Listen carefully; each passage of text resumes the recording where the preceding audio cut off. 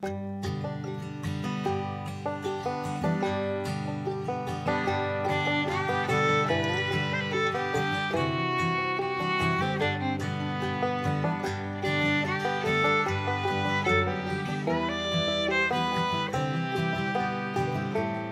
환청에 대한 이야기입니다. 예, 환청도 기본 원리는 망상하고 똑같습니다. 아까 망상 이야기할 때 첫 번째 제가 내버려둬라. 위험한 망상이 아니면 내버려둬라 했듯이 환청도 위험한 환청이 아니면 내버려 두셔야 되고요. 그 다음에 잘 들어줘라. 경청해라. 예, 경청해 주시면 되고 그 다음에 환경을 바꿔줘라. 바깥 세상에 좋은 일들을 만들어줘라.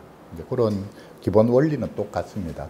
자, 어, 망상의 환청에 대해서도 마찬가지인데 인정하거나 수용할 수 없는 감정과 욕구들 이 있으면 여기에 이제 문제가 된다는 거예요. 그 궁극적으로 우리가 가야 되는 방향은 자기 이해, 자기 수용 쪽으로 가야 되거든요. 당사자가 자기 자신을 이해하고 받아들일 수 있게끔 현실에서 이루어질 수 없는 목표를 그냥 포기하게끔 내지는 현실을 있는 그대로 받아들이게끔 우리가 도와줘야 되는데 그러려고 하면 타인의 수용은 자기 자신의 자신에 대한 수용을 촉진시킨다.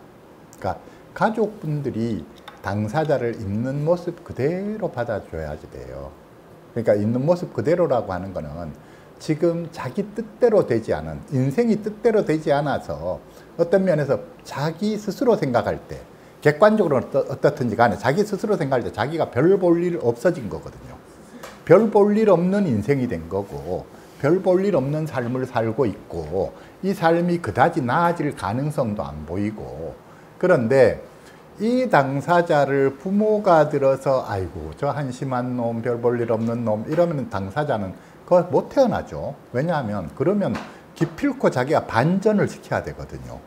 현실에서 내가 괜찮은 놈이라는 걸 현실 속에서 입증을 해 보여야 되는데 현실이 버거워 입증이 안 되니 망상을 통해서라도 자기는 괜찮은 놈 인정을 받아야 되겠다 이렇게 되는 거예요. 망상이나 환청을 통해서라도. 그러니까 현실이 뜻 현실이 뜻대로 안 되는 것 때문에 문제가 생긴 거니까. 아, 그리고 현실이 자기 뜻대로 세상이 사라질 것 같지도 않고 그래 문제가 생긴 거니까. 그래. 그러니까 결국 뭐냐면 부모 입장에서 잘나거나 못난 게 없어야지 돼요. 자식 어릴 때는 잘난 자식으로 키우고 싶어서 정말 공부도 잘하고 정말 모든 사회적으로 남들보다 더 성공하고 경쟁에서 앞서가고 잘난 자식으로 만들고 싶어서 내가 애를 썼지만 지금에 와서 지도 잘난 잘난 자식이 돼 보려고 애를 쓰다 보니까 뜻대로 되지 않고 저렇게 힘에 버거워서 저러고 있으니 잘난 자식이 안 돼도 된다 이렇게 돼야 됐죠. 너는 그냥 네 자체로 훌륭하다. 굳이 더 이상 애쓰지 마라. 그 제가 부모님들한테 그런 이야기 하거든요. 자식한테 네 효도할 거 다 했다. 어려서 자라면서 부모 말 잘 듣고 착하게 그래 하고 또 학교 다닐 때 더러더러 공부 잘했던 애들은 공부 잘해서 부모를 기쁘게 해주고 또 어떻게 하고 어떻게 하고 너는 네 효도할 거 다 했다. 더 이상 부모 기쁘게 하려고 애쓰지 마라. 네가 편안하게 행복하게 사는 게 나로서는 최고의 기쁨이다. 더 이상 애쓰지 마라. 괜찮다. 애쓰지 않아도 괜찮다. 부모님들이 자꾸 이런 메시지를 주셔야지 돼요. 그러니까 부모님이 내 시각을 내려놔야 되죠. 잘난 놈 못난 잘난 잘났다 못났다가 없어야지 돼요. 그러려고 하게 되면 부모님들이 내 자식에 대해서만 그런 게 아니라 그렇잖아요. 내 자식은 내가 있는 모습 그대로 아이고 세상에 뭐 돈이 많은 게 무슨 소용이 있노? 번듯한 직장 다니는 게 무슨 소용이 있노? 아무 그 없어도 하루하루 행복하게 사는 게 최고지. 그러니 내 자식은 그냥 있는 모습 그대로 이쁘다. 또 밖에 나가도 사람들이 내 자식을 있는 모습 그대로 이뻐해 주면 좋겠다. 부모님들 마음이 그러실 것 같으면 남의 자식도 내가 똑같이 그래 대해 줘야지 되죠 잘난 놈이든 못난 놈이든 잘났다 못났다의 분별이 없어야 된다는 거예요. 더 좋은 직장 다닌다, 뭐 직장 좀 시원찮은 데 다닌다, 직업에 귀천이 없어야 된다. 그런 분별이 없어야지 된다. 사람이 좀 뭐 예의 바르고 공손한지 좀 태도가 불량한지 아이고 뭐 그럴 수도 있지. 사람이 무례할 수도 있지. 뭐 그, 그래서 그런 그런 그래서 부모님들께서 이게 이제 반듯한 그러니까 우리가 보통 보면은 세상살이 하면서 정답을 갖고 살잖아요. 모범답안, 좀 모범생. 그거를 부모님들부터가 아이고 세상살이에 무슨 답이 있겠노 라고 부모님들도 답 없다. 꼭 이래야 된다는 거 없다. 뭐 그러면 좋지만 뭐 안 그래도 뭐 괜찮다. 부모님들부터가 이게 내려놔줘야 자식한테 그런 태도로 대하실 수 있습니다 하는 거죠. 결국은 있는 그대로 잘났든 못났든 지 모습 그대로가 받아들여지면 다른 걸 동원할 필요가 없죠. 망상을 동원할 필요도 없고 환청이니 환신이 동원할 필요가 없는데 있는 그대로의 지, 지 모습으로 살아가기가 버거우니까 다른 걸 동원을 한단 말이에요. 이제 그렇게 되는 겁니다. 원리가 그렇습니다. 이야기이고요. 자, 넘어가서요. 요거 일본 베델의 집에서의 환청 대처 방법인데 요거는 영상을 잠깐만 좀 볼, 보고 지나갈게요. 자, 그래 짧게 제가 이제 요 KBS에서 방영됐던 그 동영상인데 우리는 조현병 당사자입니다. 라고 해서 1부, 2부, 3부 해서 KBS 3부작으로 나누어서 방영했습니다. 그 3부작 중에 세 번째 거의 중간쯤에 있는 거를 제가 한 5분 분량으로 이렇게 편집한 거예요. 그래서 저 베델의 집에서 관청을 어떻게 다루고 있느냐 하는 고거를 했는데 저기에서 보면 망성, 환청에 대해서도 대하는 게 좀 다르고 환청 시라고 존칭을 붙이잖아요. 환청에 대해서 환청이 보면 참 희한해요. 환청이 내가 반말하면 지도 반말하고 내가 존댓말하면 지도 존댓말해요. 환청이 내가 화를 내면 지도 화를 내고 내가 쟤한테 잘해주면 나중에서 어느 날인가 지도 내한테 잘해주기 시작하고 이게 환청이 사람들하고 똑같아요. 사람하고 하는 게 그래서 제가 이제 당사자들한테 당부하는 거는 환청하고 무조건 환청하고 싸우지 마라. 환청하고 싸워서 이길 길이 없다. 니를 니보다도 훨씬 더 잘하는데 어떤 말을 하면 제일 기분 나쁠지 알아서 네가 환청한테 화내고 욕하면 환청은 네 아주 들으면 속 뒤집어질 소리만 골라서 하는데 그 절대로 네 싸워 싸워서 못 이긴다. 근데 우리가 흔히 초창기에 처음에 당사자들 발병하고 환청 듣고 하면 처음엔 겁이 나서 벌벌벌 떨다가 좀 지나면 막 화가 나서 소리를 지르고 허공에다 팔을 휘젓고 막 하거든요. 예, 그래서 등등 하는데 그렇게 되면은 환청이 점점 심해지죠. 그래서 결국 이제 나중에 환청이 환청이 안 떨어지면 어떻게 할 거냐? 환청이 안 떨어지면 더불어 잘 사는 법을 찾아야 되죠. 무슨 말 이웃하고 똑같거든요. 내가 같은 아파트 사는데 옆집 입집 사람들이 내만 하여튼 얼굴만 마주쳤다 하면 나한테 욕을 하고 나한테 갖다가 나가 죽어라 하고 비난하고 너 어젯밤에 이런 짓 했지 저런 짓 했지 하고 그냥 샤워할 때 내 다 봤다 하고 뭐 다 이래 해서 하면 얼마나 속 뒤집어지겠어요. 그런데 자 이게 다른 게 뭐냐면 이거 팔딱 뛰겠는 게 이게 없앨라 해도 안 없어지고 뿌리칠 방법이 없잖아요. 우리가 차라리 이웃은 이런 이웃이 있다 하면은 내가 못 견디겠으면 이사를 하면 되잖아요. 근데 환총은 나가 떨어지지도 않고 내가 그렇다고 화를 내면 저는 더 심하게 나오고 이것도 그리고 환청도 이게 하나가 아니에요. 목소리 하나가 아니에요. 목소리가 기본 적게 듣는 사람도 네, 네 명, 다섯 명의 목소리가 들리고 열 명도 넘고 경우에 따라서는 수백도 넘고 그래요, 목소리가. 사람하고 똑같아요. 한 떼거지가 있어요. 망상도 마찬가지. 망상도 망상 속에 한 사람만 있는 게 아니에요. 완전 하나의 조직이 들어있어요. 거기에 우리 드라마에 수많은 등장인물이 나오듯이 망상에도 수많은 등장인물이 있고 환청에도 수많은 인물이 있어요. 성별도 있고 남자 여자도 있고 젊은 아도 있고 어린애도 있고 노인도 있고 성질이 부드럽고 딱 목소리가 편안하고 부드러운 목소리도 있고 아주 날카로운 목소리도 있고 별의별 그게 다 있어요. 다 달라요. 그러니까 어떤 환청을 듣는다라고 할 때 그래 우리가 마치 옆집 사람하고 싸웠다. 옆집 사람이 나한테 가자. 그, 그 사람이 어떤 사람이냐. 나이는 몇 살이든, 어, 사람 성격은 어떠나 뭐나. 이게 물어보듯이 그렇게 물어봐야 돼요. 환청이. 무조건 하고 환청 들으면 안 된다. 이런 게 아니고. 하여튼 그런 것이고요. 그런데 여기에서도 이제 베델의 집에서도 환청 씨라고 하지만 우리가 뭐 환청 씨라고 해도 되고 님이라고 해도 되는데 이걸 환청한테도 이름 물어보면 이름 가르쳐 줘요. 네 니는 이름이 뭐고 하면 나는 이름이 뭐다. 아니면 이름이 없다 하면은 그러면 이름 뭐라고 부를까? 앞으로 내가 니를 부를 때 뭐라 부를까? 이래도 되고 그러니까 이름 지어줘도 되고 지가 스스로 말하기도 하고 이름을 지어주기도 하고 별칭, 닉네임으로 이야기하기도 하고 또는 뭐 이름 모르겠으면 그냥 당신 뭐 이렇게 그냥 하기도 하고 여러 가지 방법으로 하는데 아무튼 그런 것이고요. 그래서 여기에서 중요한 것은 환청은 무시하려고 무시도 안 되고 자 우리가 전문가들이 이전에 가르쳐 줬던 방법이 뭐냐면 환청 회피 전략이거든요. 그러니까 무시하는 전략. 그래서 저도 제가 공부할 때 90년, 80년대에 공부할 때 90년대 초에 하고 책들 읽고 하면은 책 읽고 하면은 환청이 들린다. 벌떡 일어나서 움직여라. 음악을 들어라. 뭐를 해라. 환청 듣고 있지 말고 딴 짓을 해라. 그러면 안 들린다. 그래서 근데 우리 당사자들도 실제로 그렇게 해요. 실제로 보면 환청 막 들리면은 밖에 나와서 엄마한테 계속 말을 붙인다든지 친구한테 전화를 돌린다든지 엄마하고 말하고 있으면 안 들리고 친구한테 전화 돌리면 전화하고 있으면 안 들리고 등등 하니까 아니면 음악 듣고 아니면 산책하고 등등 해서 그거를 피하려고 하거든요. 그래도 또 안 되면 막 술 먹고 술에 뻗어서 자기도 하고 술 취해버리고 잠들고 하면 되니까 그래서 한데 이 방법 효과 없습니다 하는 거예요. 무슨 말이냐면 그거는 일시적으로 피할 수 있을지 모르지만 그, 그 순간만 피하는 거예요. 환청은 기다렸다 지 하고 싶은 이야기 있으면 어차피 지 혼자 있는 시간 되면 이야기해요. 어쩌고 어쩌고. 그러니까 귀신하고 똑같아요. 그러니까 귀신이라 해도 되고 아닌데 이걸 우리가 그러니까 정신병이다 이게 이렇잖아요.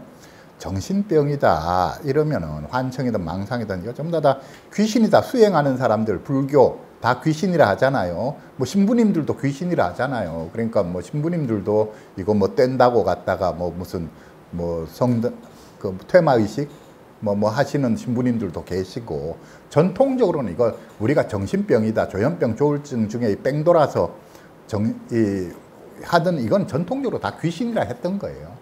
근데 지금의 현대 과학이 귀신이 아니라는 걸 밝혔느냐? 아니, 귀신이 아니라는 걸 밝히지 못했어요.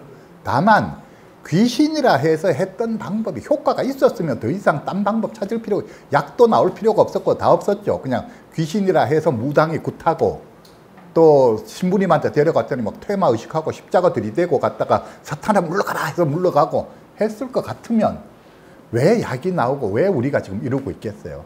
귀신이라 하고 떼나, 떼내려고 암만 해도 안 떨어지는데 약을 먹으니까 희한하게 떨어지더라. 약을 먹으니까 힘을 못 쓰더라. 귀신이라고 하면 어떻게 표현해야 돼? 약을 먹으면 귀신이 맥을 못 추더라. 귀신이 맥을 못 추게 만드는 약이다. 뭐 이러면 되는 거죠. 그러니까 그래서 그런 것이고. 그런데 약으로 또 해결되면 좋겠는데 의사들은 약만 맹신하는데 그렇잖아요. 귀신이라 해서 무당은 굿만 할라 했고 굿하고 퇴마 의식하고 할 그걸로 떨어져 주면 좋았는데 그걸로 안 떨어지니 약이 나왔는데 의사들은 약만 가지고 또 해결하려니 약으로 떨어져 주면 좋은지 약으로 안 떨어지면 어떡하느냐 하는 거죠. 귀신인지 아닌지도 알 수도 없고 자 그걸 종교에서는 귀신이라 하고 심리학에서는 내면의 목소리라 하고 심층에 그 등등 한데 이게 뭐 귀신인지 내면의 목소리인지 그건 우리가 알 길이 없고 그 다음에 뭐 의학에서는 이게 팔딱 뛰겠는 게 이게 뇌에 잡음 마치 고장난 라디오 취급을 하는 거죠. 이게 뇌가 뭐가 잘못돼서 테레비가 정상적으로 나와야 될 게 안 나오고 지지직거리는 것처럼 표현하니까 그래서 의학에서는 무조건 없애야 된다 이렇게 나오는데 무조건, 무조건 없애야 된다가 중요한 게 아니라 없앨 방법을 내놓으면 그대로 하죠. 그래서 아무튼 그런 것인데 자, 그리고 우리가 연구해야 되는 건 뭐냐? 당사자 입장에서는 당사자 입장에서 자, 지금 저처럼 저한테는 저한테는 누가 오느냐 하면 굿해서 떨어질 사람 같았으면 저한테 안 와요. 약 먹고 떨어질 사람 같았으면 저한테 안 오죠. 다 전부 다 굿도 해보고 약도 먹고 했는데 안 되니까 저한테 오는 거예요. 그러면 어떻게 해야 되느냐? 스스로의 힘으로 어떻게 할, 대처할 방법을 찾아야 되잖아요. 환청이 안 떨어지는데 앞에도 이야기했지만 옆집 사람이 허군 날 내만 보면 욕을 해대는데 어떻게 어떻게 그, 그, 이 상황에 살아갈까를 의논해 줘야 되잖아요. 그런데 방법이 있더라 하는 거예요. 무슨 말이냐면 자, 떼낼라 해도 안 떨어지는 놈이 내가 지한테 잘해주면 지도 내한테 잘해주더라. 이제는 허구한 날 욕하던 놈이 욕은 좀 덜 하더라. 그 다음에 등등 이렇게 되니까 이제 살만해지는 거죠. 아까 망상 원리도 똑같아요. 망상도 없앨라 한다고 아니라 허구한 날 내를 미행하고 감시를 하고 등등 하면 어떻게 미행하고 감시하면 그거 그냥 그거에서 미행 안 하게 할 방법도 없고 감시를 안 하게 할 방법도 없고 도청을 안 하게 할 방법도 없는데 그 도청을 하면 내가 끌려서 이 말 내가 말했는 게 온 세상에 퍼지면 곤란한 그런 말들은 안 하면 되는 거고 그렇잖아요. 내가 뭐 내가 부끄러움 없이 세상을 살면 누가 내를 갖다 24시간 감시한들 그게 무슨 문제가 되겠어요. 그러니까 방법을 찾아주는 거예요. 방법을. 그러니까 그래서는 된다 안 된다가 중요한 게 아니고 안 된다 해서 방법이 없는데 누가 당사자 본인이라고 안 된다는 걸 몰라서 그러겠어요. 이거 듣고 싶어 듣는 것도 아니고 환청도 마찬가지고 환시도 마찬가지인데 그러니까 방법을 찾아줘야 된다. 서로 잘 의논해야 되고 그랬을 때 자 피하는 방법 가지고 해결 안 되더라. 싸우는 방법 가지고 해결 안 되더라. 그러면 이제 어떻게 해야 되느냐 이런 거예요. 그랬을 때 자 이제 이게 베델의 집도 마찬가지는 Intervoice라고 하는 단체가 있어요. Intervoice는 뭐냐면 목소리 듣기 운동이라 해서 Hearing Voice Movement라고 하는 단체가 있는데 Hearing Voice Movement 저 인터넷에 유튜브에 보면 내 머릿속의 목소리라고 해서 엘리노어 롱든이라고 하는 사람이 했는 유튜브 있어요. 그거 언제 시간 되시면 보셔요. 엘리노어 롱든 내 머릿속의 목소리라고 있어요. 자, 이 목소리 듣기 운동은 1980년대 네덜란드의 정신과 의사 마리우스 롬 교수가 시작을 했는데 네덜란드와 영국을 중심으로 활동을 했고요. 이 사람들은 환청이라고 하지 않고 영어로는 오디터리 할루시네이션이죠. 환청이라 하지 않고 목소리라고 한다. 목소리를 병의 증상으로 보지 않고 없애려 하지 않는다. 목소리에 대한 수용을 강조한다. 목소리와 함께 어떻게 더불어 잘 지내겠느냐 하는 것을 추구한다. 하는 것이죠. 그리고 이 목소리 듣기 운동을 하는 단체, 세계 각국의 대표자들의 모임을 인터보이스라 해요. 그런 것이 있습니다. 근데 이 인터보이스에서는 이 목소리, 그러니까 환청의 촉발 요인이 뭐냐? 라고 했을 때 이런 거를 수만 명의 사람들을 대상으로 연구하고 해서 이제 결론을 자꾸 발표를 하는 거예요. 이제 불안전감, 인시큐럿, 인시큐럿, 안전하지 않다는 느낌. 이거 특히나 우리 조현병 환자들한테 아주 문제가 돼요. 우리 조현병 환자들은 안전의 욕구가 억수로 강한 사람들이에요. 이 사람들은 내가 이야기하 제가 이야기하지만 태어나면서부터 세상은 위험하다. 사람들은 위험하다는 생각을 갖고 태어나는 사람들이에요. 그래서 항상 안전하다는 게 확인이 돼야 돼요. 그러면 그래서 언제 탈이 나느냐? 환경이 바뀔 때 탈이 나요. 그러니까 집에서는 잘 지내다가 학교에 갔는데 학교에 갔더니 그, 그럼 잘못하면 탈이 나고 그 다음에 학교도 초등학교 마치고 중학교 갔을 때, 중학교 마치고 고등학교 갔을 때, 고등학교 마치고 대학 갔는데 서울, 지방에 있던 애가 서울이라도 갔다. 부모하고 처음 떨어졌다. 유학 갔다. 이러면 탈이 나기가 쉽다는 게 직장에 취직했다. 하여튼 어디든지 환경이 바뀌면 처음에 보통 사람들도 처음 한 서너 달, 한 6개월 적응하는 기간이 필요한데 이때에 남들이 자기한테 친절하게 대해주고 어쩌고저쩌고 해서 적응이 잘 되면 다행인데 적응이 잘 안 되면 이때부터 이 의심병이 발동을 한다는 거예요. 그래서 애가 불안해하고 걱정을 하고 하다가 결국은 거기에 묻혀버리는 거예요. 계속 그 생각에서 못 빠져나오는 거예요. 그래서 발병을 하게 되고 하거든요. 안전하다는 느낌이 매우 중요해요. 안전하다는 느낌이 없는. 근데 집에 환경, 그러니까 우리 집의 환경이 얘한테 마음이 좀 편안하게 해주는 환경인가를 살펴봐야 돼요. 물리적 환경도 그렇고 심리적 환경도 그런데 물리적으로는 너무 막 도로변에 있어 자동차 소리가 시끄럽다 동네가 막 유흥가에 있어서 허구한 날 흥청망청이다 이러면 반드시 안 좋죠. 그 다음에 집에 부부간에 허구한 날 싸운다 아버지가 술만 먹고 들어오면 애를 갖다가 쥐잡듯이 잡는다 이러면 이거 분명히 안 좋죠. 그런 거예요. 하여튼 안전하다는 불안전감, 그 다음에 피어, 두려움, 그 다음 공격성, 그 다음에 자신의 성적인 느낌, 자기가 성적 충동이 올라온다. 이러면 또 환청이 들리고 그러기도 하고 타인의 성적인 느낌, 딴 사람이 자기를 음흉한 눈으로 쳐다본다. 자기를 유혹하는 듯한 느낌을 받는다. 뭐 이런 것들. 그 다음에 통제감 상실. 내가 내가 내 자신을 어, 내, 내가 내가 하는 말을 말이 나도 모르게 헛소리가 튀어나올지도 모르겠다. 이런 것들. 내가 내가 생각지도 않은 행동을 하게 될지도 모르겠다. 이런 것들이죠. 또는 자 어떤 상황, 즉 통제감 상실 느낌에 직면할 때인데 예로서 낯선 상황들. 자 어떤 상황에서 그러냐 예측하지 못했던 상황. 낯선 사람과의 만남, 스트레스를 야기하는 상황. 그 다음에 같은 방 안에 있는 타인의 감정. 같은 방에 있는데 어떤 사람이 화가 나서 계속 씩씩댄다. 가족들이 화가 나서 씩씩댄다. 이런 것, 그럼 그 영향을 받는다는 거예요. 불안해서 막 달달거린다. 그 영향을 받는다는 거예요. 그러니까 제가 그런 이야기 하잖아요. 우리 부모님들이 하셔야 되는 게 물이 되어 주셔야 됩니다. 이게 뭐냐면 애가 지금 애들이 다 탈이 난다는 건 활성기 발병한다. 자기 힘으로 감당이 안 돼서 처음엔 불안부터 시작되거든요. 불안한데 이게 불안이 제어가 안 되니까 자기 나름대로 이래도 해보고 저래도 해보는데 안 되니까 이제 애가 막 하다가 나중에 결국은 나가 떨어지는 거예요. 나가 떨어지는 거예요. 조현병은 정신이 나가버리는 거고 멘붕에 빠지는 거예요. 쉽게 표현하자면 아, 아가 불안해서 뭐 하는데 이 상황이 감당이 안 되니까 자 멘붕에 빠져버리면 이게 조현병이고 내지는 정신병이고 조울증에서도 그렇게 되면 이제 조증 증상 플러스 멘붕이 오면 정신병이 되는 거고 멘붕이 왔다.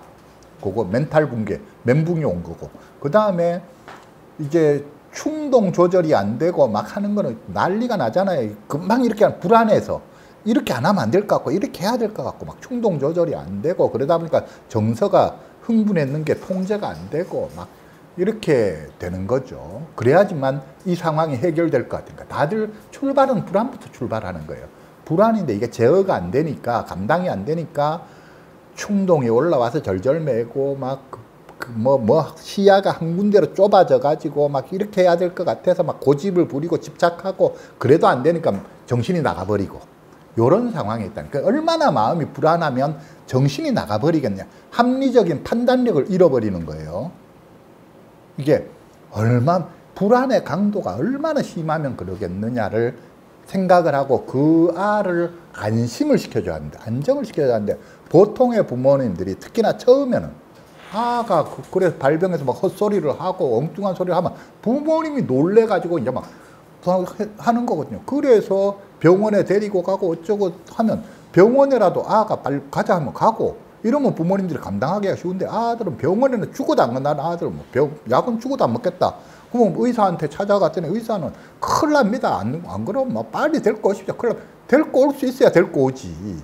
그러면 전문가를 찾아갔더니 전문가가 가족의 마음을 안정시켜 주는 게 아니라 더 불안한 마음을 막 불을 질러 가지고 더 불안하게 만들고 막 이래서 아, 아만 그러니까 부모도 놀라서 화들짝 뛰고 막 부모가 걱정을 해 전제를 하면 아 입장에서는 내가 힘든데 엄마가 내를 안정시켜 엄마를 보면 내가 더 불안해. 이렇게 되니까 이게 서로 핑퐁이 돼가지고 이게 진정이 안 되는 거예요. 그래서 그게 아니고 무조건 하고 아 자가 자가 지금 아가 감치가 감당을 못 해내고 있구나.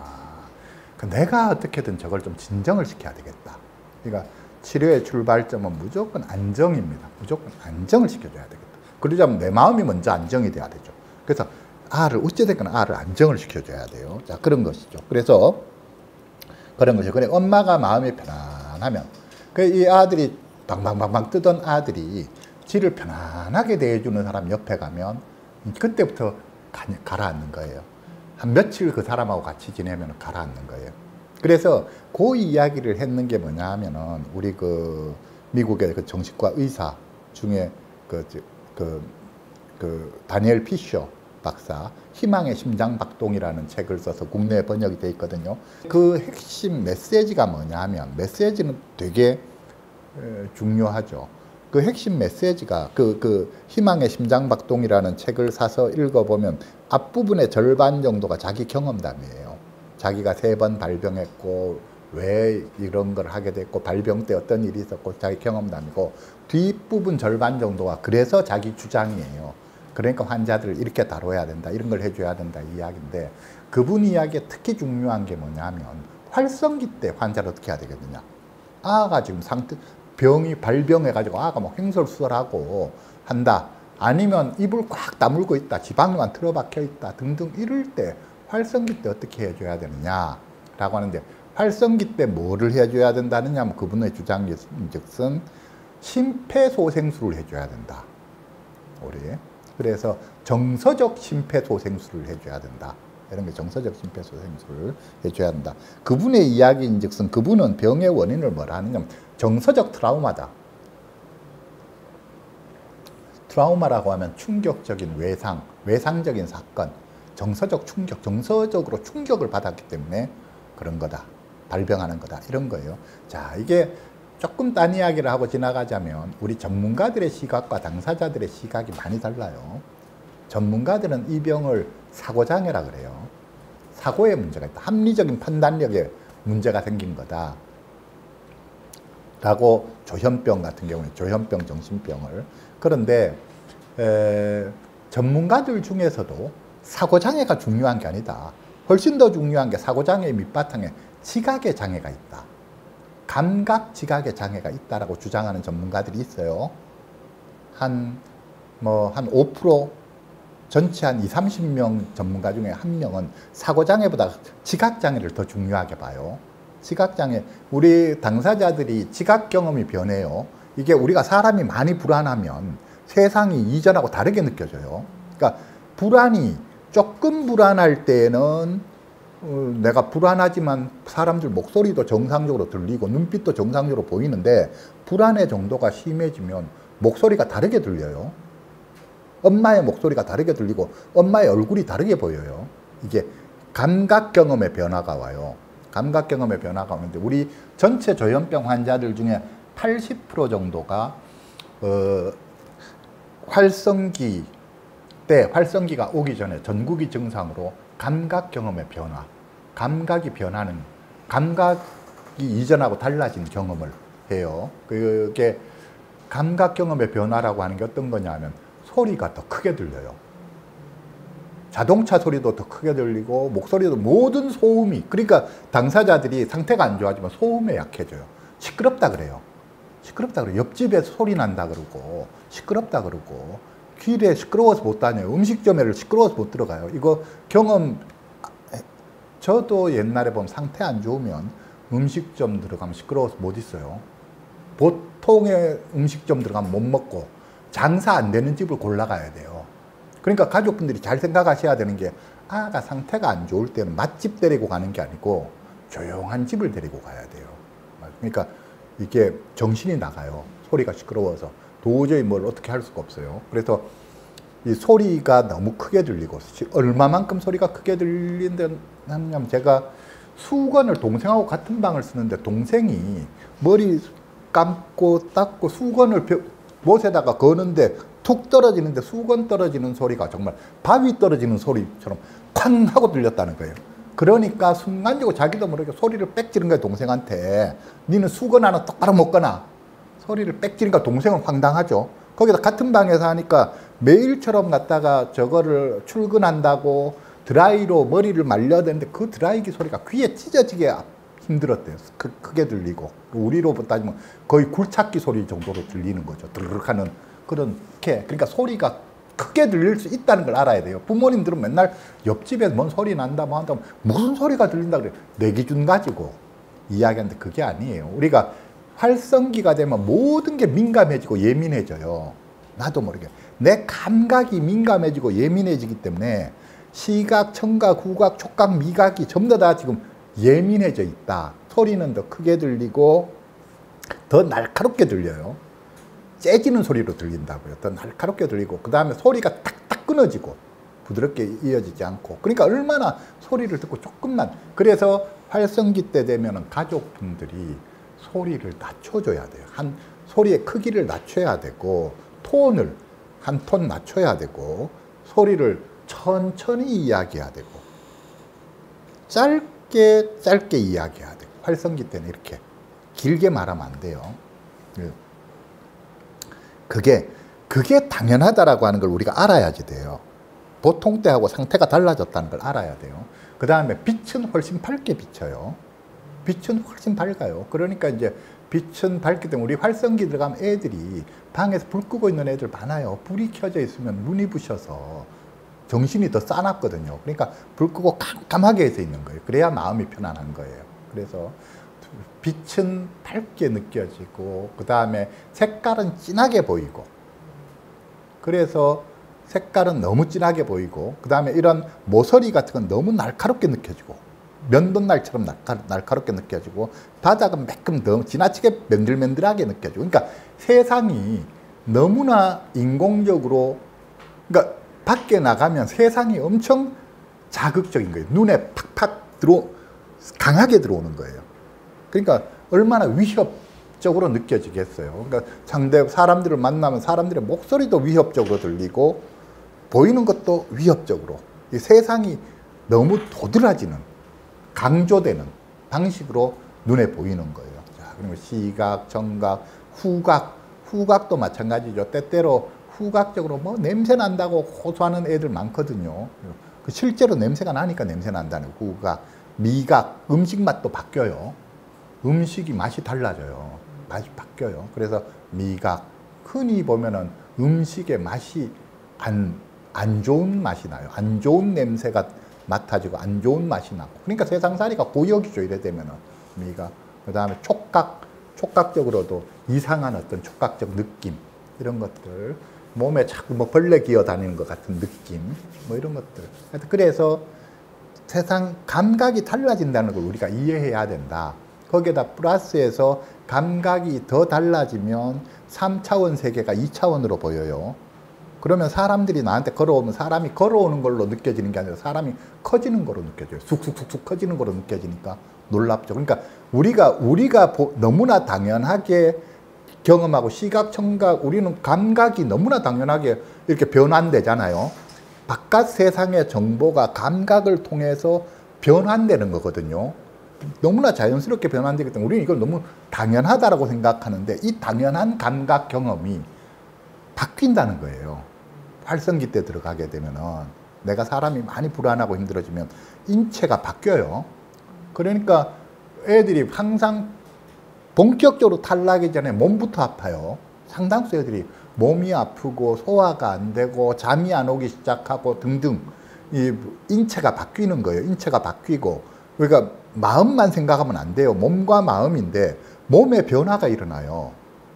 몸의 변화가 일어나고 감각이 바뀐다는 걸 우리는 이해를 해야지 돼요. 그러니까 이제 환청이 들리는 거는 감각이 바뀌는 것 중에서도 아주 세게 바뀌면 이제 환청도 들리는 거죠. 아, 헛것도 보이는 거고. 그러니까 원래 이 세상이 원래 경험하던 방법으로 안 보이고 다르게 보여요. 엄마 얼굴을 보면 얼굴이 피부에 살같이 살로 느껴지는 게 아니라 종이로 느껴져요. 마분지. 엄마가 그러니까 우리 어릴 때 동화 보면 그런 거 있잖아요. 돼지 삼형제. 엄마다 하면 손 내밀어 보세요. 손 내밀어 보니까 엄마 손이 털이 부슬부슬하다. 어, 엄마 손이 아니네. 했던 것처럼 그런 거예요. 엄마 분명히 엄마인데 갔다가 엄마가 우리 엄마가 아닌 것 같아. 이게 엄마처럼 생겼는데 엄마가 아니야. 이런 거. 그러니까 엄마를 자꾸 쳐다보고 쳐다보고 사람들하고 이야기할 때 사람들 자꾸 많이 쳐다봐요. 왜 많이 쳐다보느냐? 분명히 내 친구가 맞는 것 같은데 친구가 아니야. 맞나 아닌가 계속 보는 거예요. 느낌이 다르기 때문에 그래요. 이게 피부에서 느껴지는 느낌이 다르고 음색이 다르게 느껴지기 때문에 그래요. 엄마의 원래 음색이 아니고 음색이 다르게 느껴지는 거예요. 그러니까 이상하다. 엄마는 엄마인데 엄마가 아니야. 요새는 이제 AI가 하도 되다 보니까 이제는 애들이 AI 엄마, AI 아빠라고 표현하는 경우도 꽤 있어요. 우리 엄마가 옛날에는 로봇 같다 했는데 지금 이제 AI가 훨씬 더 그럴듯하죠. 그래서 우리는 그거를 이해를 해야 된다는 거. 우리가 느끼고 경험하는 당연히 자도 그렇게 느끼고 경험하겠죠. 천만의 말씀이에요. 어떤 식당에 들어갔는데 내가 느끼는 식당의 분위기와 야가 느끼는 식당의 분위기는 전혀 다를 수 있다는 걸 우리는 인정해야 된다. 우리 집에 사는데 옆집하고의 분위기나 느낌이 내가 느끼는 느낌과 전혀 다를 수 있다는 걸 인정해. 나는 아무 소리가 안 들리지만 귀기에 들렸다면 들렸을 수도 있겠다 하고 대화를 해야 돼요. 무슨 소리가 들린다 그러느냐? 내 기준으로 하면 안 돼요. 이게 우리가 그래야 되면 뭐하고 똑같으냐면 노인네들 귀가 뭐 가잖아요. 나이 80대고 시부모 옛날 시절 같으면 하면 시부모들은 귀가 본인 귀가 먹어, 먹어놔 놓으니까 뭐니까 그러니까 뭐라 하면 뭐가 시끄럽다 그러느냐 하고 또 뭐 뭐 남들 심심하면 뭐 의심하잖아요. 뭐왜 너거는 자꾸 소곤소곤 내나? 내가 좀 크게 이야기해라. 내가 좀 같이 듣게. 우리는 크게 이야기하는데도 자기 안 들린다고 무슨 비밀 이야기 저렇게 많나? 저것들이 분명히 내 모르게 뭔 일을 꾸미고 있지. 자기의 감각이 가면 그렇게 된다는 거예요. 그러면 우리가 볼 때는 자기 감각이 갖는 건 생각 안 하고 자기 귀가 멀어서 안 들리는 거 생각 안 하고 자꾸 사람을 의심하네? 이래야 되는데 그 애 입장이 똑같은 거예요. 부모가 들어서 무슨 소리가 들린다고 그러느냐 하면 애 입장에서 답답한 거예요. 그렇잖아요. 그 부모가 귀가 멀어, 뭐, 귀, 시, 청각이 안 좋아서, 시각이 안 좋아서 내가 듣는 소리를 못 듣는다. 이렇게 되는 거죠. 그러니까 항상 지가 무슨 말을 하면 그럴 수도 있겠다 하고 들어가야 돼요. 아니라고 하시면 안 되고. 그래, 자, 그래서 자, 같은 방 안에 있는 타인의 감정, 그 다음에 피로 등등. 그, 그 다음에 이제 자신의 목소리를 통해서 힘을 얻을 목소리가 위로해주고 격려해주고 힘을 주는 목소리들이 있어요. 그럼 그 목소리를 많이 듣게 되는 거예요. 목소리들 중에는 자기를 안 좋게 말하는 목소리도 있지만 위로해주고 힘을 주는 목소리도 있어요. 그래서 처음 시작될 때 그렇게 시작되는 경우도 꽤 많아요. 처음에 너 참 많이 외로웠지 이러면 애들이 눈물이 펑 나요. 그런 목소리가 들리면 그럼 그 다음부터 시작해서 내가 너를 위로해 줄게 필요하면 내가 나한테 힘이 되어 줄게 이래요. 그러면 이제 그 목소리가 수시로 하면 이제 목소리하고 대화를 하고 하거든요. 그럼 목소리가 너 이렇게 해봐, 저렇게 해봐 등등. 그러다가 어느 날부터인가 목소리가 뭔가를 시키기 시작해. 너 머리카락 하나만 뽑아볼래? 머리카락 딱 뽑아요. 아 잘했어 어쩌고 어쩌고. 너 손에 칼 칼만 손에 한번 갖다 대볼래? 뭐칼 갖다 대는 거 아무것도 아니고 면도칼 갖다 대요. 살짝 그어볼래? 아주 살짝만 그어볼래? 아, 살짝 그어봐요. 나중에 되면 피가 나게 해볼래? 그 정도는 안 돼. 나중에 이제 이렇게 이제 되거든요. 요게 그래서 친절하던 목소리가 어느 날부터 이제 막 화를 내기도 시작하고 이제 죽으라고 명령도 하고 이제 이렇게 돼요. 그래서 이게 여러 가지로 목소리들이 그렇게 달라지는데 아무튼 그런 것들이 그래서 이제 요런 것이고 그 목소리에 촉발되어 있는 이런 게 있습니다라고 이제 인터보이스라는 단체에서 발표를 했다. 자 당사자 본인들의 목소리에 대한 대처 전략이 어떻게 되느냐? 아무것도 안 배운 당사자들이 그냥 사용하는 목소리에 보면 목소리 무시하기, 분산 요법, 아까 이야기 목소리를 피해라 듣지 마라. 이거 비효과적이다. 라고. 근데 아직도 책에는 보면 그렇게 돼 있어요. 제 정신분열병과 가족이라는 책이 있죠. 20년 전에 쓴 책. 그 책에 제가 그렇게 써놨어요. 목소리가 들리면 벌떡 일어나서 움직여라. 음악을 들어라. 그때 당시에 다른 책에 미국에서 나온 책이하고 그렇게 쓰여 있으니까 저도 그걸 소개했던 거예요. 근데 지나 보니까 그 방법으로는 해결 안 돼요. 목소리는 적극적으로 훨씬 더 적극적인 대처 전략이 필요해요. 그렇게 해서는 안 되고. 그 다음에 이제 당사자들이 배우지 않고 사용하는 방법들 중에 그래도 도움이 되는 게 뭐냐면 선택적으로 목소리 듣기. 지 욕하는 목소리는 안 듣고 지 칭찬하고 지한테 따뜻하게 대해주는 목소리하고 자주 대화하고. 그 목소리와 기꺼이 대화를 시작하기 목소리와 구체적인 약속을 하기. 하루 종일 목소리가 이, 들, 이야기를 해서 하면 일을 할 수가 없잖아요. 그러면 우리 하루 종일 내한테 계속 말을 걸어대면 내가 일을 할 수가 없다. 자 지금 하고 싶은 이야기를 참았다가 우리 저녁에 저녁 8시부터 9시까지 우리 1시간 이야기하자. 저녁 8시까지 좀 그때 기다렸다 그때 이야기하자. 이야기하자. 사람하고 똑같아요. 여러 번 청하면 나중에 들어줘요. 8시에 대화하자면 8시에 대화하게 돼요. 그래서 그렇게 되는 것이고 효과적인 대처법에서 그래서 방금 이야기한 것처럼 목소리가 하루 종일 짓거리게 내버려 두지 말고 목소리에 특정 시간을 부여해라. 목소리에게 말대꾸하라. 듣, 지만 말고 질문도 하고 내 생각도 이야기하고 그 다음에 한계를 설정하라. 되는 건 되고 안 되는 건 안 되는 거고 그런 건 나한테 시키지 마. 라고 그 다음에 목소리가 하는 말을 적어라. 적는 게 아주 좋은 전략이에요. 그 다음에 당신의 목소리에 대해 대화할 수 있는 사람을 찾아라. 목소리가 이런 말 하더라 저런 말 하더라 라고 털어놓고 의논할 수 있는 사람을 찾아라. 목소리도 사람하고 똑같아서 아무한테도 목소리가 자주 하는 이야기가 절대로 누구한테도 말하지 마. 부모한테 절대 이야기하지 마. 내가 하는 말은 절대 하지 마. 이렇게 하거든요. 애들도 다 마찬가지잖아요. 학교에서 괴롭힘 당하고, 당하고 등등 할 때 애들이 그 괴롭히는 애들이 애한테 그런단 말이에요. 너 이거 누구한테도 말하지 마. 부모한테 말해. 말하면 내 진짜로 가만히 안 둔다. 너가 부모다. 그, 그 어떻게 한다 뭐 한다 해서 애들이 진짜로 그런지 알고 몇 년을 괴롭힘을 당하면서 부모한테 말 한마디 못하는 애들 많거든요. 목소리가 하는 전략도 똑같아요. 누구한테도 말을 못하게 해요. 앞에도 이야기했지만 생각도 그렇고 모든 게 다 말하지 않고 혼자만 생각하고 혼자만 끙끙대기 때문에 이게 일이 이상한 대로 자꾸 가는 거예요. 병이 심해지는 쪽으로 가는 거고. 그러니까 첫 출발은 무조건 털어놓게 하는 거. 털어 말을 해라. 말해라. 목소리에 대해서도 첫 출발은 무조건 고주할 매주할 말하게 하는 거예요. 목소리가 이런 말 하더라 저런 말 하더라 다 기록하고 적어 가지고 상담 시간에 기록하고 적어 와서 상담 시간에 말하라 해요. 고주할 매주할 했는 말을 토시 하나 안 바꾸고 그대로 일러 바치듯이 말을 하면 목소리도 함부로 말을 못해요. 야는 내가 지한테 했는 말을 그대로 쪼르륵 쫓아가서 엄마한테 다 일러 바치네. 했는 말을 상담사한테 다 일러 바치네. 그럼 지도 말을 조심해요. 이제 지도 탈 잡힌 말은 안 할라 하고 목소리도 사람하고 똑같아요. 그래서 아까 뭐 귀신이다 이야기했는데 귀신인지 아닌지 모르지만 사람하고 똑같아요. 근데 이게 귀신이라 할 때 어떤 귀신이냐?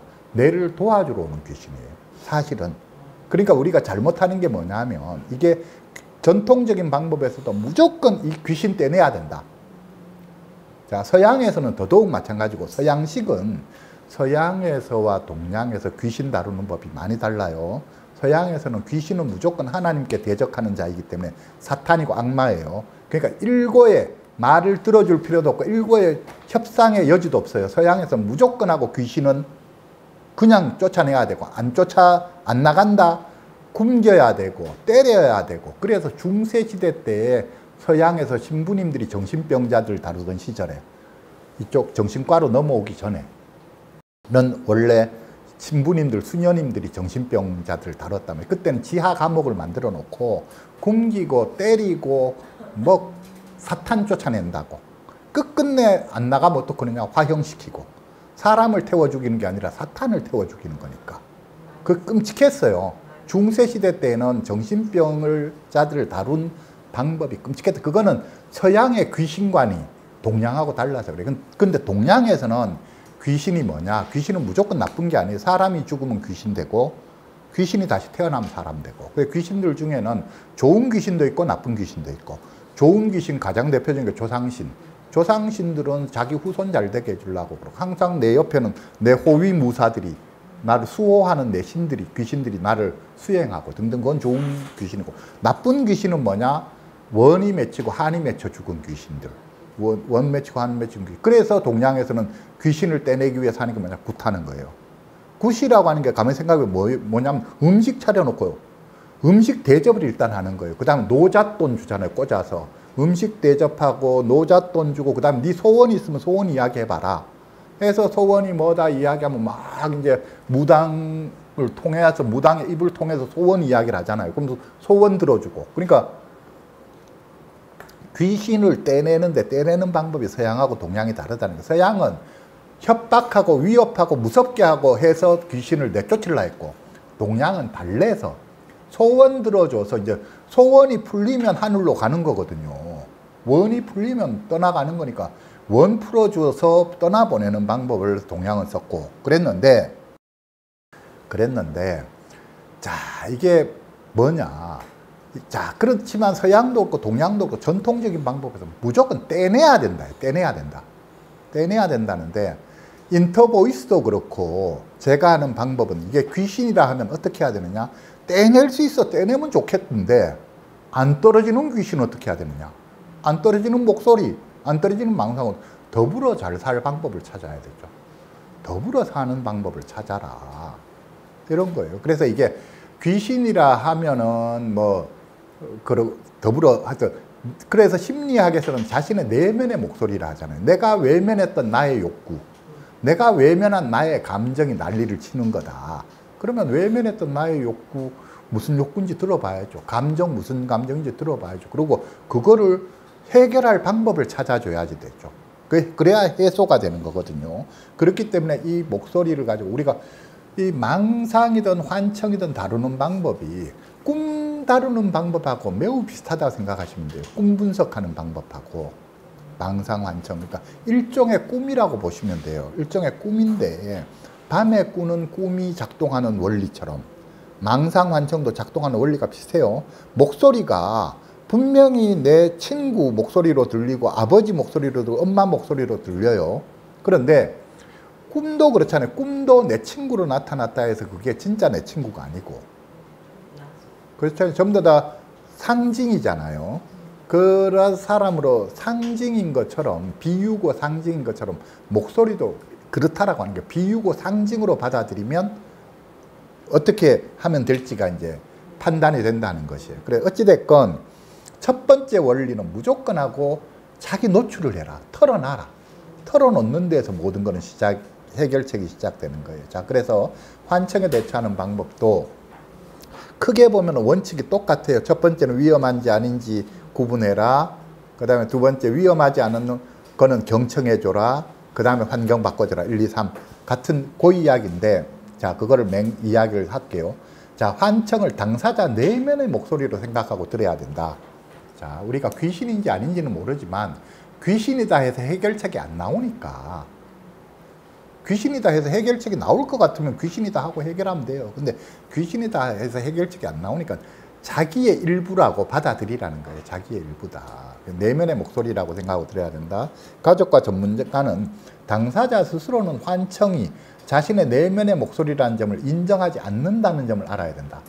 망상에 대해서도 자기가 자기 생각이 잘못됐다는 걸 인정하지 않는 것처럼 환청도 이걸 자기 목소리라고 생각 안 해요.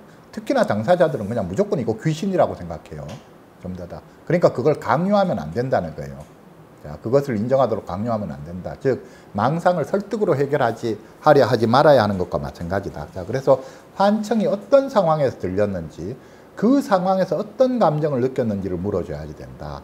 당사자의 감정을 인정해주고 공감해 주어야 한다. 환청을 들었을 때 기분이 어땠는지, 그래서 어떻게 행동했는지를 물어줘야 한다.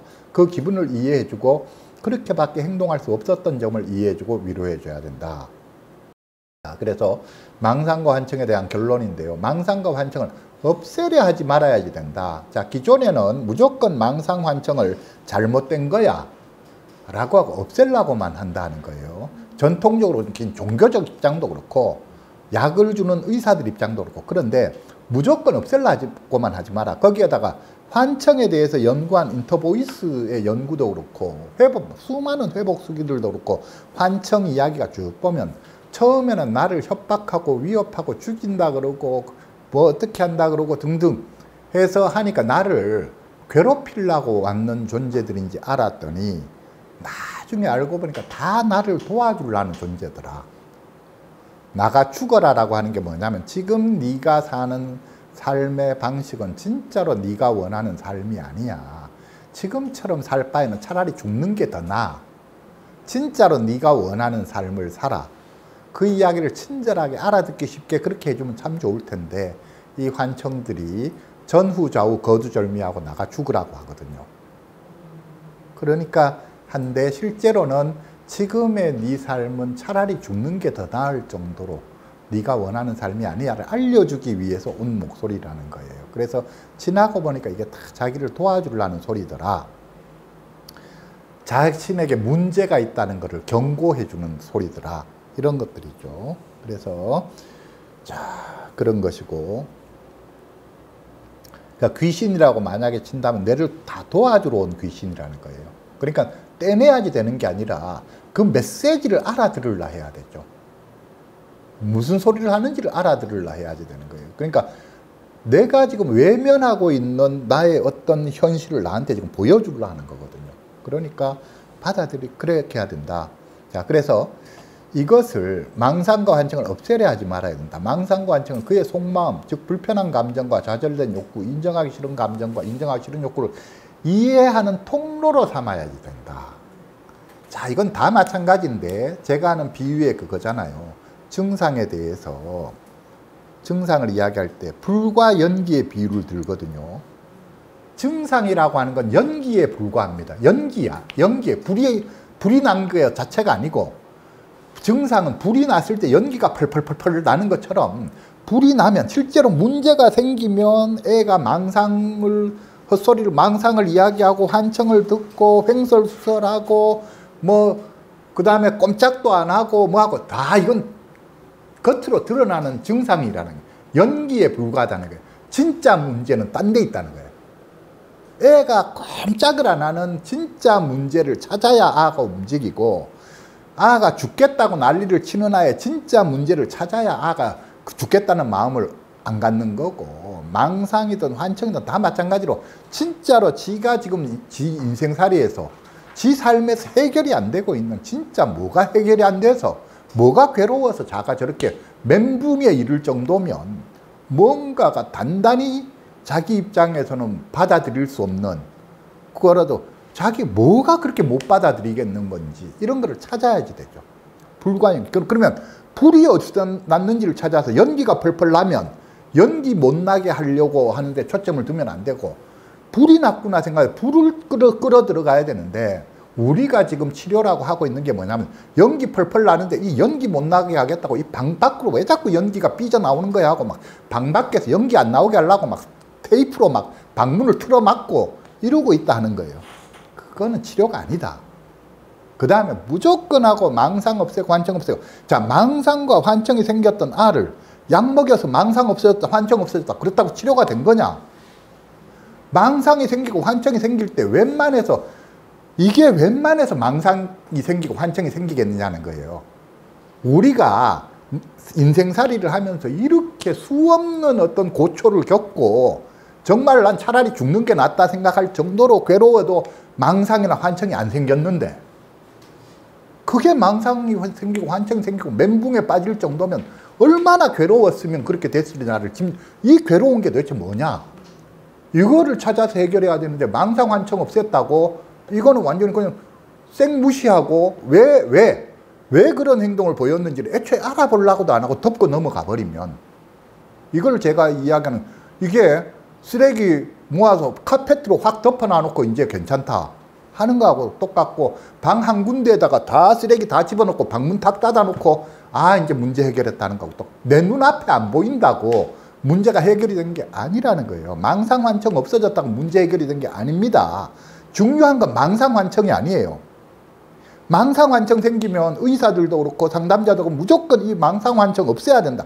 망상환청을 없애는 게 중요한 게 아니라 망상과 환청의 원인을 찾아서 원인을 없애는 게 중요한 거죠. 망상환청은 그 자체로는 오히려 도움이 되는 거예요.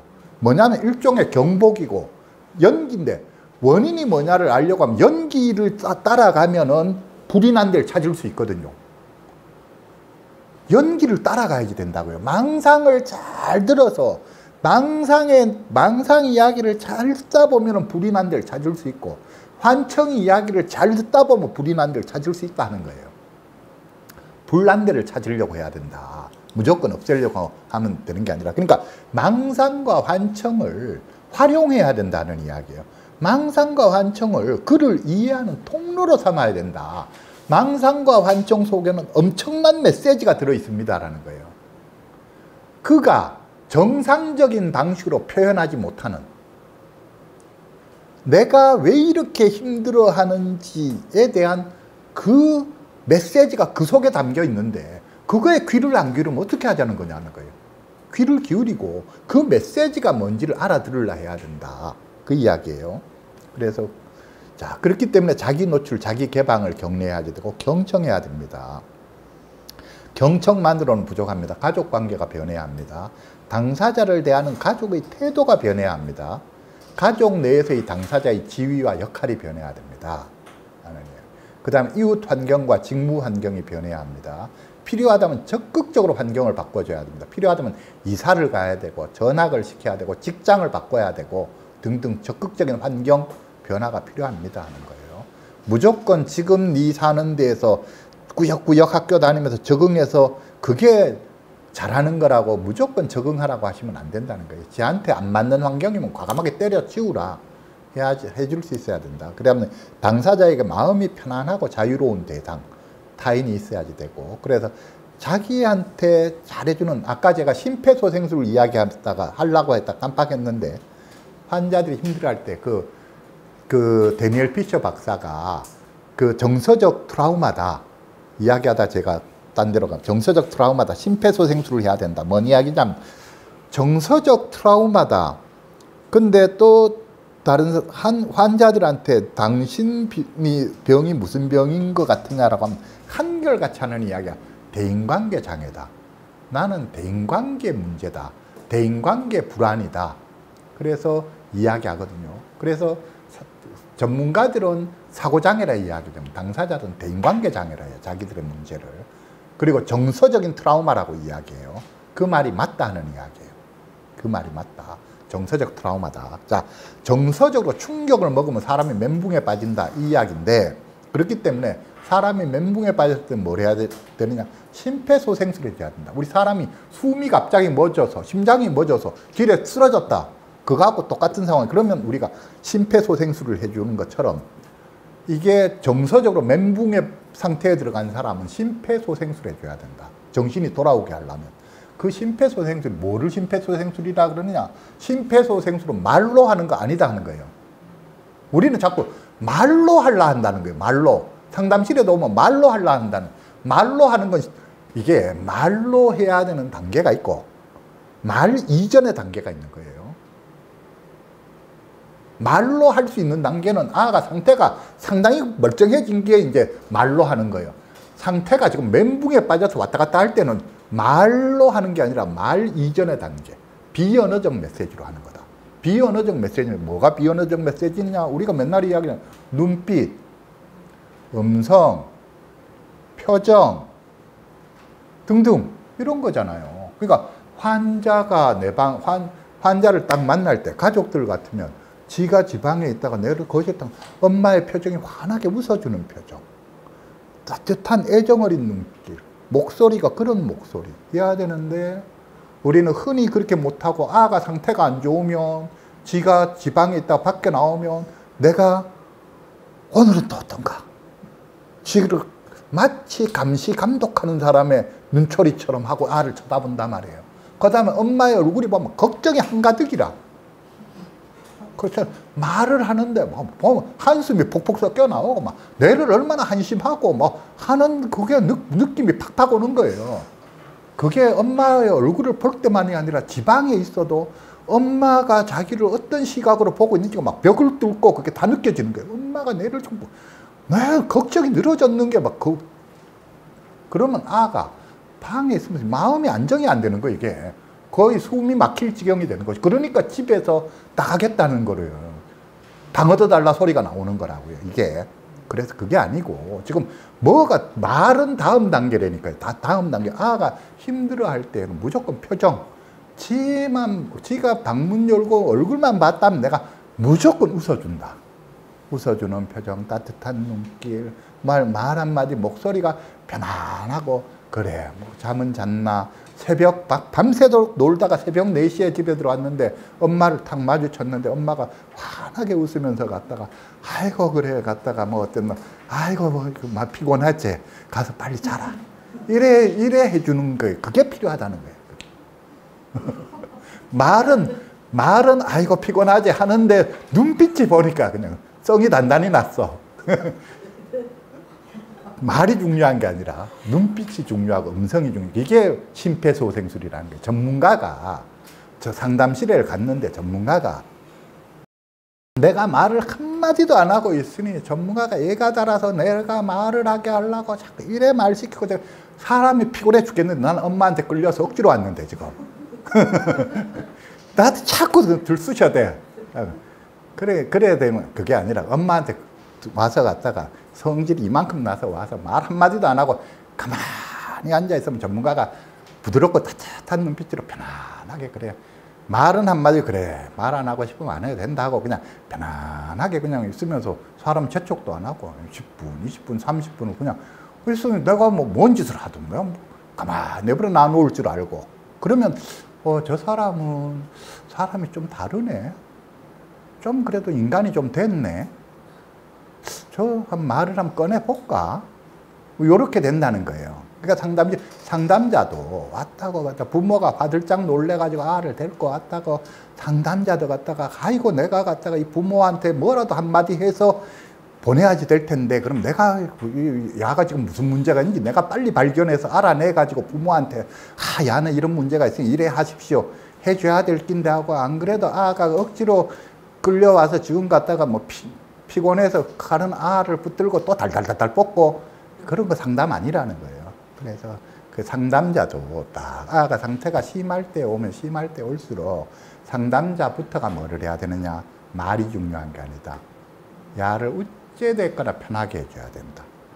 자, 야가 세상에 살면서 숨 쉴 구멍이 어디 한 군데나 있겠노.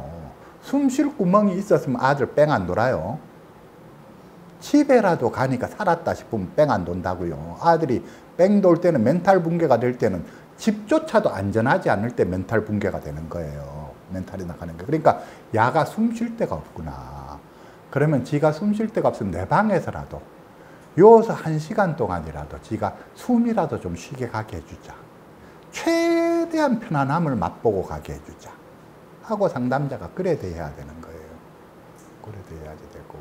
하여튼 망상, 환청에서도 그렇고, 와해 증상도 마찬가지예요. 와해 증상도 왜요? 와해 증상 오늘 들어갈 시간이 없어 다음번에 할 텐데 애들이 정신이 완전히 나가가지고 힘들수라는 와해 증상도 세상 살이가 얼마나 두렵고 무서웠으면 아가 저렇게 됐을까. 그래서 편안하고 안전하다는 느낌, 안심이 돼야지 돼요. 그래야 아가 제정신이 돌아와요. 겁이 나서 절절 매는 거예요. 겁이 나서 정신이 나가버린 거예요.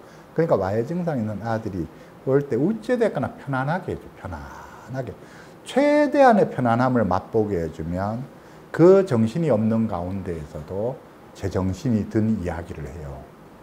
그러니까 억지로 말을 말로써 와해 증상에 있는 아들은 말로써 뭘 하려 하면 안 돼요. 말을 할 때 말은 내가 최소한으로 하고 나머지 나의 눈빛 과 음성과 표정과 이런 걸로 하는 건데 이게 꾸밀라고 꾸며지는 게 아니에요. 나의 마음으로 하는 거예요. 결국은 내 마음이 내 마음이 진짜로 지를 생각하는 마음, 측은지심, 진짜로 지를 이뻐하는 마음, 사랑하는 마음, 안타까워하는 마음, 어떤 마음 그런 마음을 지니고 내가 지를 대할 때는 그 마음이 알게 모르게 나의 눈빛과 음성을 통해서 전해져요. 그럴 때, 아, 내가 저 사람을 한번 믿어볼까? 저 사람을, 어쩌면은 두려워, 무서운 사람이 아닐 수도 있겠어.